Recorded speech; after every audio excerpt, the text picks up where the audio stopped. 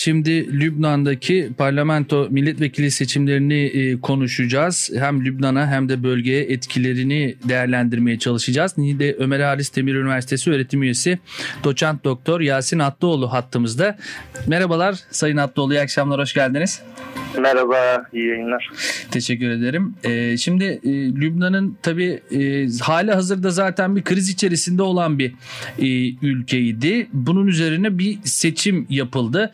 E, yani çöküşün eşiğinde ifadesi birçok uzman tarafından da kullanılıyor e, Lübnan için. Şimdi bu ortamda yapılan e, bu seçim e, bazı sorunların çözülmesine vesile olur mu? E, ya da isterseniz şuradan başlayalım. Nasıl bir tablo oluştu? Milletvekili bileşimleri ya da grupların e, seçimden e, güçlenerek ya da hangi grubun güçlendiği, hangi grubun zayıfladığı bunlar göz önünde bulundurulursa e, nasıl bir resim var? İsterseniz buradan başlayalım.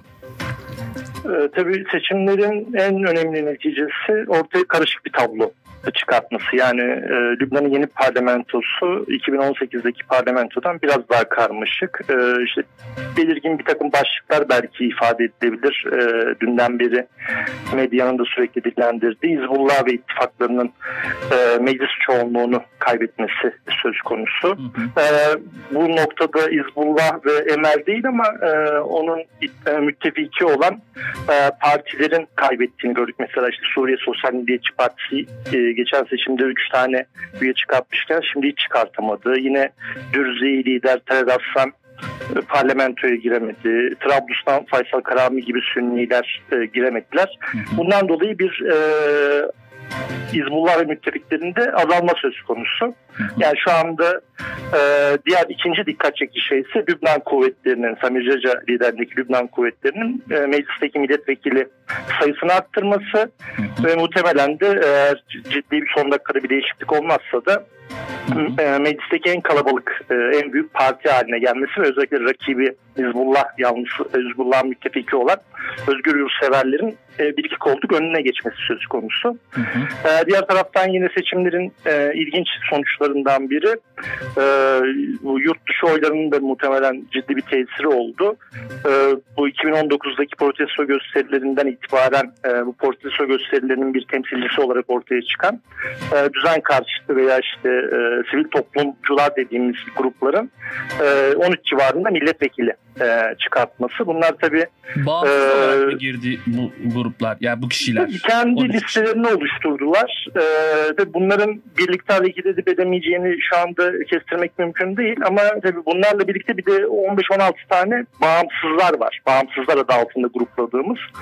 O yüzden tablo biraz karışık yani şu anda net rakamları da vermek mümkün değil. E, çünkü bu bağımsızlar ve e, sivil toplumcuların e, birlikte hareket etmesi mümkün müdür değil midir onu bir görmemiz lazım. E, diğer taraftan e, daha önce var olan bu 8 Mart 14 Mart bloklaşmasının ya o bloklar zaten 4-5 yıldır e, erimişti. Yani öyle bir e, bloklaşma ortadan kalktığı için daha net bir biçimde bu belli oldu.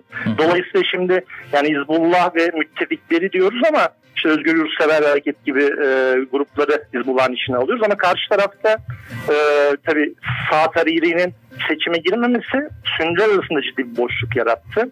Şu anda karşı grubun liderliğini Lübnan kuvvetlerinin e, lideri e, Samir Caca yapıyormuş gibi gözüküyor ama e, tabii bu Samir Caca'nın yanında kimler hareket edecek onu bilmiyoruz. Mesela e, bir süredir e, eski bloğun içinden ayrılmış ilerici sosyalistler yani Can Polatlar var. Onlar şu anda ayrı bir yerde duruyor. E, bu iki gruptan birine katılacak mı? Yine bu sivil toplumcular nasıl bir pozisyon belirleyecekler kendilerine bu da belli değil. İşin diğer problemli kısmı Hizbullah ve müttefikleri çoğunluğu kaybettiği gibi kimse çoğunluğu alamadı. Yani dolayısıyla şimdi hükümet kurulma meselesi ortaya çıktığında ciddi sorunlarla karşılaşılacak. Yine. Hizbullah ve Emel'in içinde olmadığı bir hükümetin kurulması çok mümkün gözükmüyor. Ee, diğer taraftan... Ama içine e, girebileceği bir hükümet mümkün gözüküyor mu? Öyle soralım soruyu. Anlayamadım tekrar. E, içinde olmadığı hükümet çok mümkün gözükmüyor e, çok dediğiniz mümkün, mümkün, Hizbullah mümkün ve Emel'in yani, içine girebileceği bir Emel, birleşimin e, olasılığı e, var mı? Yani şu var şimdi Hizbullah ve e, Emel e, Şii koltukların hepsini aldı. Dolayısıyla yeni kurulacak hükümette Şii bakanlar olmak zorunda. E, dolayısıyla bu çok mümkün değil. Yani teknokrat hükümeti de kurulması mümkün değil şu an için. Dolayısıyla onlar muhakkak olacak ama ee, karşı tarafa baktığımızda yani Lübnan kuvvetlerinin hükümeti kurabilecek bir e, çoğunluğu sağlama imkanı var mı? O da yok yani. E, dolayısıyla Hizbullah muhakkak olacak ve bence Lübnan kuvvetleri yine muhalefette kalmayı tercih edecek. E, bir de işte kritik bir devlet başkanlığı seçimi var. E, Samir Caca bu oy artışıyla birlikte ciddi bir e, cesaretlendiğini söyleyebiliriz e, Lübnan kuvvetlerinin. Daha sert bir muhalefet izleyebilir muhalefette kalıp. Özellikle Aynı zamanda Samir Caca'nın burada hocam? Efendim? Özelliği ne Samir Caca'nın yani siyaset olarak? Öne çıkan ya şey şimdi kendisi. Samir Caca aslında iç savaşta bir savaş suçlusu. Ee, yani e, birçok katliama da adı karışmış. Ee, hatta iç savaş bittikten sonra 92'de bir kiliseye yapılan bombalamadan dolayı da hapse atılmıştı. 2005 yılına kadar hapiste kaldı. Yani Hariri suikastinden sonra tekrar e, serbest bırakıldı ve siyasetin içinde yer aldı. E, Lübnan kuvvetleri dediğimiz yapı aslında bir e, paramiliter grup. E, yani iç savaş sırasında e, öncelikle e, şeyin e, Beşir Cemayel'in başkanlığındaydı. Daha sonra Samir Caca'nın eline geçti. Yani eski bir milis komutanı e, Samir Caca. Ama bunu çok şey böyle şaşırtıcı bulmamak lazım. E, şu anki devlet başkanı Michel da iç savaş sırasında ordunun içerisindeydi ama o savaşın içerisinde faal olarak yer aldı. Dolayısıyla bu bir engel gibi gözükmüyor. E, diğer taraftan Lübnan siyasetinde özellikle 2016-17'den sonra e, Suudi Arabistan'ın en büyük desteklediği, e, en fazla destek verdiği lider Saad Hariri'ydi. Ama Saad Hariri'ye olan e, Suudilerin güveni azaldı. Alternatif Sünni liderler aradılar bulamadılar. En sonunda da şu an görüyoruz açık net bir biçimde Samir Caca'yı yani bir Maroni lideri destekliyorlar. Ee, tabii Samir Caca'nın dış bağlantısı bu açıdan kuvvetli ve e, şu anki tabii parlamento koltuk sayısıyla devlet başkanı olması imkansız ama e, mevcut e, politik şartları da düşündüğümüzde işte muhtemelen Hizbullah'ın içinde olduğu bir hükümet kurulabilirse ki yine bir soru işareti var. Başbakan, Sünni başbakan kim olacak yani? Eskiden e, açık bir alternatif vardı. Herkes Saat Ali'nin kapısını çalıyordu. Hı hı. Şu anda öyle biri de e, net bir aday da gözükmüyor. Hani bunu bulur bir şekilde e, işte bu bağ, bağımsızlar e, veya e, sivil toplumcular dediğimiz gruplardan içine alacak şekilde bir hükümet kurulursa Lübnan kuvvetleri muhtemelen e, bu hükümete muhalif olarak e, kendine bir pozisyon belirleyecek ve devlet başkanlığı seçimine giderken eğer o seçim olursa Ekim ayında e, Samir Caca da e, kendini e, bir aday olarak ön plana koymaya çalışacak. E, tabii karşı taraftan kim çıkacak onu şu an net bilmiyoruz. Hani genelde e, şey Nao'nun damadı Cibran Basil'in ismi geçiyordu ama bu seçimlerde e, Cibran Basil'in de e, toplumsal olarak e, algısı biraz kötüleşti. Yani Cibran Basil çıkmayabilir. Belki daha kucaklayıcı e, yani Samir Caca'ya göre de daha kucaklayıcı, daha geniş bir kitleye hitap eden bir Maruni aday bulunabilir. E, dolayısıyla yani seçimin ortaya çıkarttığı tablo oldukça karışık. Hı hı. E, ve bu tablonun içerisinde önce hükümetin kurulması lazım. Tabii hükümet kurulur kurulmaz önemli e, ciddi ekonomik sorunlar var. İşte geçen ay IMF ile yapılan anlaşma 3 milyar dolarlık bir para girişi reformların yapılması lazım. E, bu tablo içerisinde bunları yapıp yapamayacağını e, bekleyip görmek lazım ki en son 2018'de yani Hizbullah'ın e, ciddi manada kazançlı çıktığı seçimden sonra bir hükümetin çok uzun süre kurulamadığını biliyoruz. Yani 16 ay kadar e, sürdü. Şimdi e, ben çok olumlu değilim açıkçası yani böyle birkaç ay içerisinde kurulabilir mi? Kurulması bir hükümetsizlik ama dönemi bekliyor olabilir Lübnan'ı diyorsunuz. Uzun bir süre yine bir yıl belki. Yani bu kriz olabilir ama bir taraftan da bu ekonomik kriz artık e, yani siyasi krizle ekonomik kriz birlikte devam ederse artık e, ekonomik krizin ulaştığı nokta artık zirve noktası. Yani e, elektrik kesintileri bir yana artık insanlar işte bu Ukrayna Savaşı'nın da etkisiyle birlikte e, temel gıdalara ulaşamıyor. Yani dolayısıyla işte 5 kişiden 4'ü e, açlık sınırının altında yaşıyor Lübnan'da. İnsanlar ülkeden göç etmeye çalışıyorlar. Dolayısıyla bu şartlar altında hani iktidarda olan meclise giren e, grupların e, bu hükümeti kurması ve bir uzlaşması da e, söz konusu. Yani bunu yapmak zorundalar. Bunu yapmazlarsa e, e, siyasi krizle birlikte ekonomik kriz devam ederse ki tabii Lübnan kuvvetleri dediğim gibi bir eski e, tanıcısı eski bir milis komutanı ve işte geçen sene e, sonbaharında hatırlıyorsunuz Beyrut'ta e, Şii Emel Hizbullah taraftarlarına ateş açıldı. Daha sonra Emel silahlı e, adamlarıyla sokağa çıktı falan. Bu tür gerilimler tekrarlanabilir ve benim e, beklentim tabii Lübnan kuvvetleri zaman zaman ekonomik sorunlara da değinen bir parti ama esas onları belki oy artışını sağlayan şey Suudi desteği ve ikincisi de Hizbullah'a karşı sert bir politika izlemeleri. Yani bu politika daha da sertleşebilir ve bu noktada özellikle Hizbullah'ın silahları meselesi çok fazla gündeme gelebilir. Yani böyle bir şey olduğu takdirde de e, gerilimin sokağa yansımaması çok mümkün değil. Yani bunlara ek tabii dışarıdan gelebilecek riskleri de düşünmek lazım. İşte olası bir İsrail saldırısı gibi. Hı hı. E, peki hocam e, sizce e, mevcut e, kuvvetler daha doğrusu e, Hizbullah'ın içinde bulunduğu e, hükümet yapısı neden güç kaybetmiş olabilir? Yani e, sadece tabii ekonomik kriz vesaire bunlar var ama bunlar hep vardı zaten Lübnan'da. E, bir tarafın güçlenip bir tarafın zayıflamasını yani en azından görece sağlanmış olan bir dengenin bozulmasını e, siz e, nasıl yorumlayabiliyorsunuz? Ya bununla ilgili tabii birçok şey söylenebilir ama e, ben şunu düşünüyorum yani 2018 seçimleri öncesine bakarsanız o e, Cumhurbaşkanlığı seçimlerinin de yapılamadığı, parlamento seçimlerinin uzun süre yapılamadığı bir kaos dönemi vardı bu Suriye'deki kriz başladığında. Mesela kriz başladığında Hizbullah'ın Suriye içerisinde savaşması başlangıçta sorun olmuştu ama sonra yine hatırlarsanız 2015'ten sonra bu IŞİD'in ortaya çıkması ve IŞİD, Nusra gibi radikal grupların özellikle Beka'nın kuzey bölgesi, Trablus bölgesinde falan faaliyet göstermesi e, Lübnan'daki genel bakış açısını da biraz değiştirdi bu süreçte. Çünkü Lübnan ordusu ve Hizbullah bu grupları oradan temizlediler 2016 yılı gibi. e, dolayısıyla 2018 seçimlerinden önce böyle bir e, Hizbullah'ın pozisyonu vardı. Yani bundan dolayı e, Hizbullah ve müttefiklerin artış göstermiş olması belki normal karşılamak lazım. E, ikincisi de e, tabii Hizbullah oy kaybetmedi. Hatta Hizbullah'ın e, adaylarına bakarsanız çok yüksek oy oranlarıyla e, tekrar seçildiklerini işte 48 binle 50 binle seçilenler var. E, aynı zamanda Hizbullah yani Şii seçmenin çok yoğun bir şekilde katılım gösterdiğini gördük ama seçimin geneline baktığımızda e, e, katılım oranı %41 gibi bir oran çıktı. Yani 3.9 milyon seçmenden işte 1.6 milyon civarı oluyor galiba e, seçmen katıldı. E, bununla birlikte yine geçen seçimde ilk kez bu uygulama başlamıştı. Yurt dışında oy kullanma.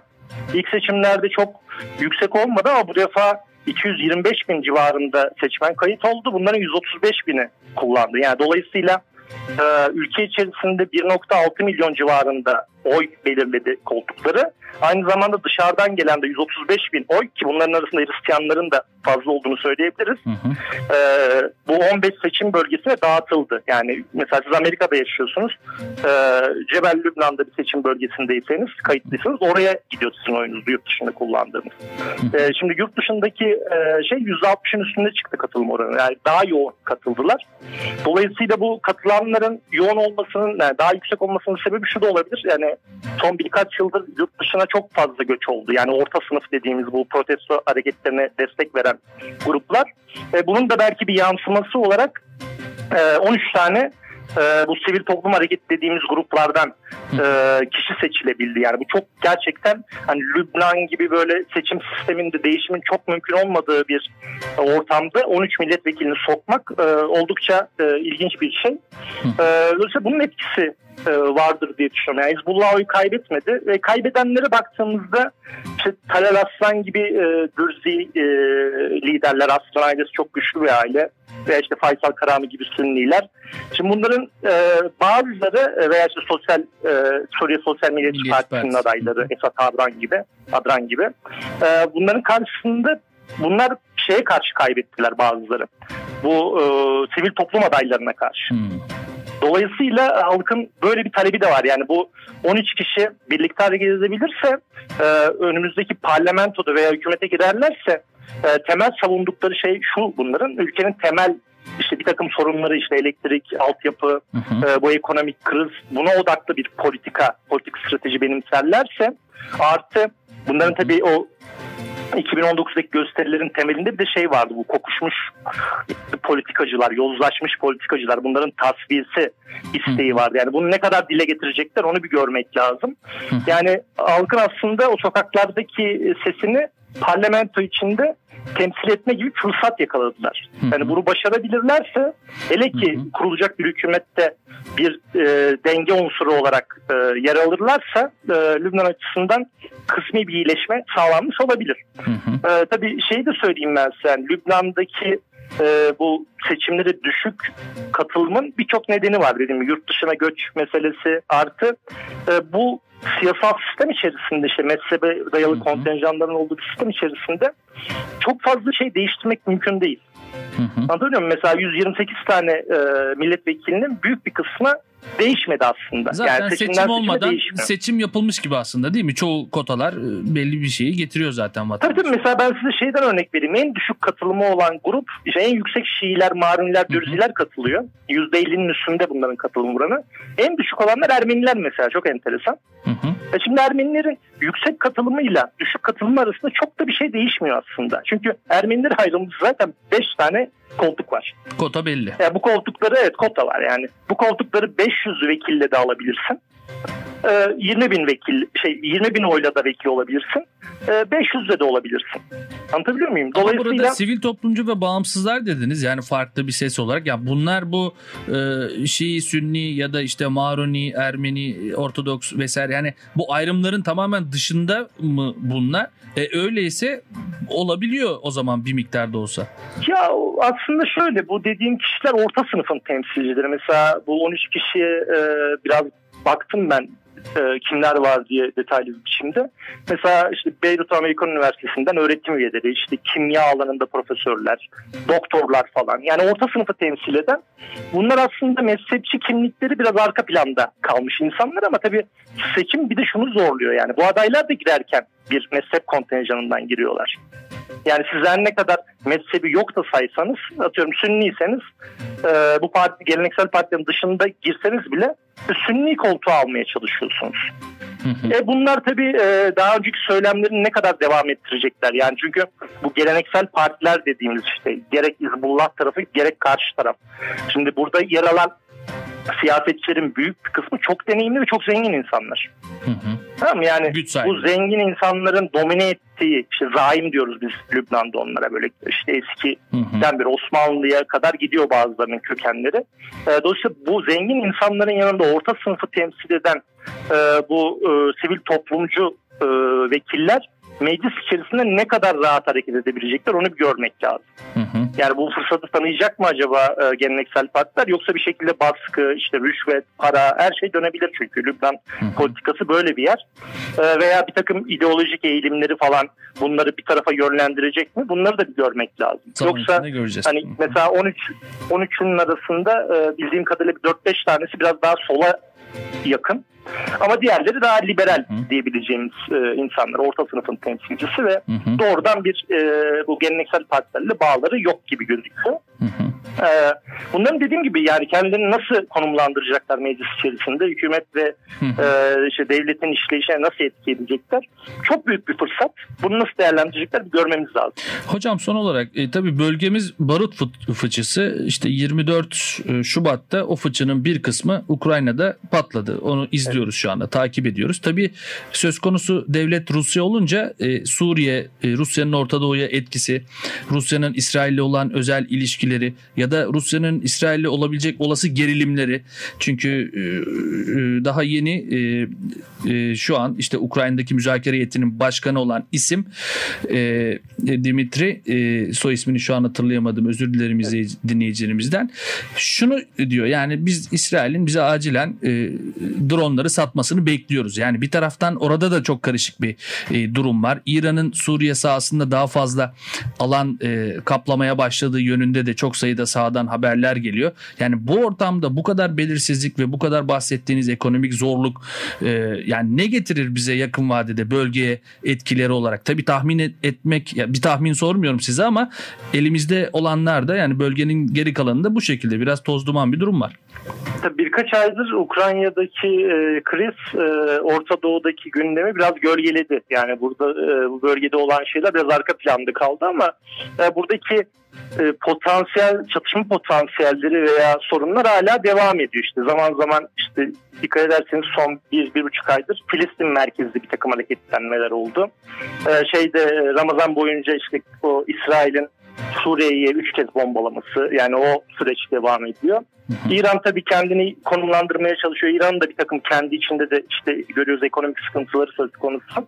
Ama yine de bir enerji e, üreticisi olarak o da e, kendi pozisyonunu belirlemeye çalışıyor. E, şeye gelince tabii Lübnan e, bu İsrail'in yapabileceği e, İsrail'in pozisyonundan veya İsrail'in yapabileceği şeylerden doğrudan etkilenebilecek bir ülke. Hı hı. E, ve tabii son 10 yıldır yani 2011'den itibaren diyelim bu Arap Baharı dediğimiz süreçten beri aslında İsrail'i tehdit olabilecek aktörler hatta daha geriye götürürsek Saddam'ı falan da koyarsak 2000'lerden beri İsrail'i doğrudan tehdit edebilecek aktörler e, ortadan kalkıyor. Yani işte Saddam vardı gitti. İşte Esad iyi kötü bir Suriye ordusu vardı gitti. Yani İran'ın e, doğrudan bir saldırı yapma ihtimali yok ama şu anda görünürde olan şey en kuvvetli Filistinli grupların zayıflığına bakarsak onlardan çok bir şey çıkması mümkün değil. Ama en kuvvetli e, tehdit olarak Hizbullah gözüküyor. Yani Hizbullah'ın elindeki silahlar ki mesela yine bu e, Filistin hareketindeki e, grupları e, Arap Baharı'ndan sonra işte Katar, Türkiye e, yanına geçmiş büyük ölçüde. Şimdi onlar tekrar Hizbullah'ın etki alanının içerisine de girmeye başladığını söyleyebiliriz. E, dolayısıyla da bunu şeyden anlıyoruz zaten yani Hizbullah'ın bölgedeki faaliyetlerinden bir de e, Hizbullah lideri Hasan Nasrallah'ın işte o rutin yaptığı konuşmaları dikkatli okuduğumuzda e, sürekli vurgu yaptığı bir şey var. Yani bir olası İsrail e, saldırısının e, ne karşı hazırlıklı olunması gerektiği ki bu biraz tabii Nasar Nasrallah zeki bir adam öne almak için bu tür şeyler Hocam, e, yapıyor. bir cümle e, lütfen sözünüzü unutmayın. Salı günü de İsrail Savunma Bakanı Gantz e, bir uyarıda bulundu. E, kendisi bir konuşma yaptı. Dedi ki e, İran'ın meydan okumasını e, ortadan kaldırmamız için diyor e, bölgesel çapta ve küresel ölçekte e, bunun diyor maliyeti işte bir yıl öncesine göre diyor e, e, daha yüksek bir yıl sonrasına göre daha az. Yani şimdi harekete geçmezsek bir yıl sonra daha fazla e, bedel ödeyeceğiz gibi bir e, söz söyledi ve Gantz sözlerinin devamında da birkaç hafta içerisinde işte İran'ın e, istediği takdirde e, bomba geliştirebileceği e, nükleer e, anlamda böyle bir iddiası da e, bulundu. Yani İsrail'in kararlılığından bir e, şeyi yok. E, geri çekilmesi yok anladığımız ya, kadarıyla. Tabii İsrail'in kararlılık mesajını zaman zaman İsrail içinde bir sürü şahin politika politikacı var. E, dolayısıyla bunu düşünen var. Yani ben, ben bile 2006'dan beri her yaz bir İsrail saldırısı bekliyorum mesela Lübnan'a. Ama tabii İran'a doğrudan bir saldırı e, çok mümkün gözükmüyor. Yani işin içine başka aktörler giriyor çünkü öyle bir şey olduğunda. Yani hı hı. İsrail Suriye'ye veya Lübnan'a saldırdığında e, Amerika gibi aktörler biraz daha arka planda kalabiliyor. Ama İran söz konusu olduğunda Amerika'sından Fransa'sına kadar, Rusya'sına kadar daha ciddi bir biçimde olayın içine girebiliyorlar. Yani e, İran hedef gösterilip e, Lübnan üzerine bir şey yapılabilir mi? E, olasılık dahilinde yani e, ele ki e, dediğim gibi bu Lübnan kuvvetleri gibi bir e, siyasi partinin e, Samir Caca gibi bir adam baş, adamın başında olduğu partinin güçlenmesi ki bunların aynı zamanda silahlı e, milis gücüne sahip olma potansiyeli de var yani böyle bir deneyimleri de var. Hı hı. Ki e, mesela yine Lübnan siyasetinde İsrail'le doğrudan iletişim kurma yeteneğine sahip az aktörden biri Lübnan kuvvetleri. Hı hı. E, zaman zaman mesela Hizbullah tarafı e, Samir Cacı'yı sürekli suçluyor zaten. E, iç savaştan biz biliyoruz zaten hani Samir Caca, işte Beşir Cemeyel e, ve e, o tarz maruni siyasetçilerin doğrudan İsrail yardımı aldıklarını işte hatta en son İsrail'in ülkeyi işgal ettiğini biliyoruz 80'lerin başında. Dolayısıyla böyle bir durum da olabilir. Yani Lübnan kuvvetleri seçim sonrası süreçte e, Hizbullah'a yönelik muhalefetini sertleştirirse ki şey akışı da muhtemel olacak. Yani Suudilerin para akışı. Hı hı. Suudilerin çünkü başka bir alternatifi yok şu anda. E, bu işler sokağa yansırsa belki İsrail müdahalesi olmasa bile ilk aşamada ciddi bir çatışma potansiyeli var. Yani insanlar ekonomik sorunlarla boğuşurken onların eline silah vermek e, çok da zor değil. E, hele ki ülkede işte e, büyük miktarda Suriyeli mülteci, Filistin kamplarını falan düşünürseniz hı hı. onları bırakın normal Lübnan vatandaşı işte elektrik, e, su bulamadığı gibi temel gıdalara bile ulaşamayacak duruma gelebilir önümüzdeki aylarda. Hı hı. Ya bu e, çatışma potansiyelini oldukça yükseltiyor. Ya, İsrail'de de bunu düşünenler vardır yani hani e, İsrail'in çünkü hı hı Lübnan'daki Marunilerle ilişkileri daha geçen evet, yüzyılın hocam. başına dayanıyor. Yani hı hı. orada bir Hristiyan Maruni devlet e, yani Marunilerin Hristiyanların e, etkili hı hı. olduğu bir devlet kurmak e, İsrail açısından önemli. Hocam çok ee, teşekkür ediyorum. Ee, süremin e, sonuna geldim. Son bir cümleniz varsa onu da alabilirim hocam. Söylediklerim bu kadar. İnşallah e, be, süreci bekleyeceğiz zaten. E, nasıl bir hükümet kurulduğunu görelim. Kurulamazsa da zaten yine konuşuruz. Bir sürü kriz olacak muhakkak. Evet hocam e, zor bir durum. E, sizin de tarif ettiğiniz gibi umarız e, konu çatışmasız e, bir yere bağlanır diyelim. Çok teşekkür ediyorum. Katkı sundunuz. İyi ben çalışmalar hocam. Ben teşekkür ederim. İyi yayınlar. İyi müzik, doğru haber.